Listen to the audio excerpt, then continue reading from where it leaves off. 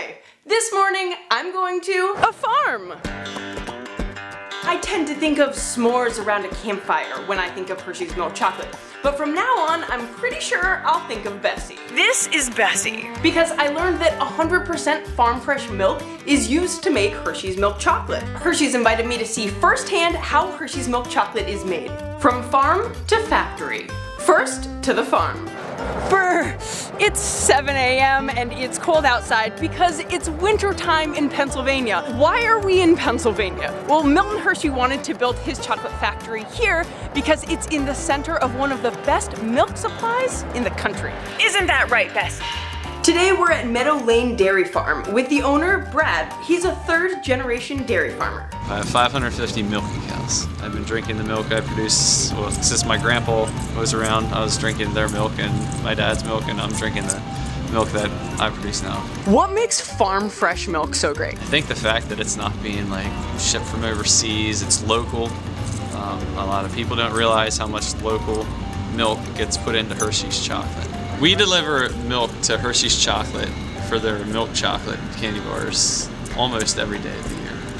And now we go where the milk goes, the factory. But now that we're here, it's time for the sweet factory outfit.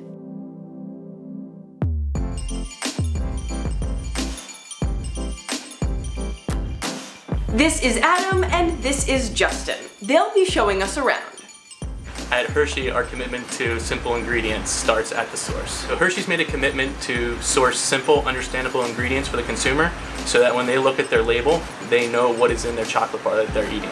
The first thing that happens after the milk arrives is that it's inspected. There were health and safety protocols all around the factory.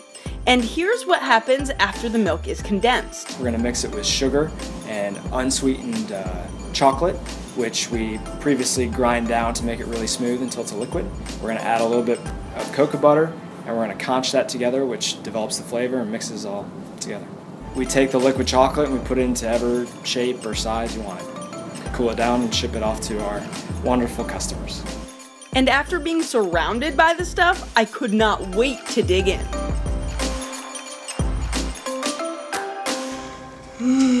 so good. it's just as good as I remember it to be around the campfire in those s'mores. Well done, Bessie.